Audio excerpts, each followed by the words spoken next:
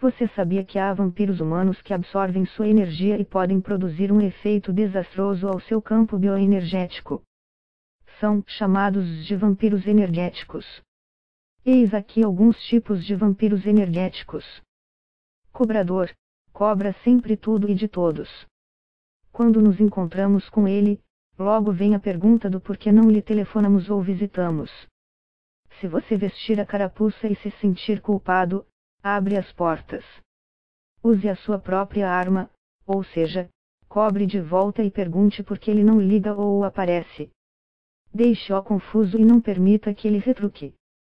Crítico é aquele que critica tudo e todos, usando comentários destrutivos.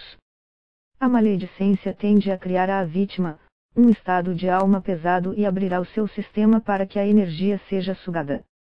Diga não às suas críticas. Adulador, adula o ego da vítima, cobrindo-a de elogios falsos. Muito cuidado para não dar ouvidos ao adulador, pois ele espera que o orgulho da vítima abra as portas da aura. Reclamador, é o que reclama de tudo e de todos, da vida, do governo, do tempo reivindicando e protestando sem parar. O mais engraçado é que nem sempre dispõe de argumentos sólidos para justificar os seus protestos. Inquisidor, dispara perguntas sobre tudo e não dá tempo para responder. Na verdade, ele não quer respostas, e sim desestabilizar o equilíbrio mental da vítima, perturbando o seu fluxo normal de pensamentos. Lamentoso, vivem chorando suas desgraças.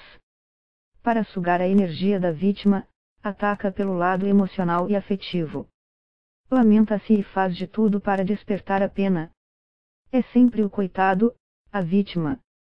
Hipocondríaco, cada dia aparece com uma doença nova. Adora colecionar caixas de remédios e sabe o nome de todos. Desse jeito, chama a atenção de todos, despertando preocupação e cuidados. Enquanto descreve os pormenores dos seus males e conta os seus infindáveis sofrimentos, rouba a energia do seu ouvinte, que depois se sente péssimo. Encrenqueiro, para ele, o mundo é um campo de batalha, no qual as coisas só são resolvidas com a violência. Faz com que a vítima entre na sua briga, provocando nela um estado agressivo. Este é um método eficiente para desestabilizar a vítima e roubar-lhe energia. Ao conhecer os tipos acima, fica bem mais fácil identificar, tomar o controle e sair ileso da situação. Uma boa dica, que serve para todos os tipos citados, é simplesmente ignorar ou deixar falando sozinho. Diga que tem mais o que fazer ou mude de assunto. Pratique o orar e vigiar sempre. Pratique a meditação. Aprenda a respirar da forma correta e valorize sempre o bom humor. São grandes armas no combate aos vampiros energéticos.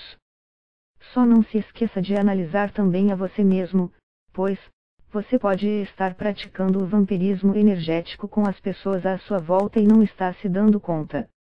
Mude seus hábitos, pensamentos e principalmente o que diz às pessoas, para não se tornar um deles. Alguns métodos para combater o vampirismo.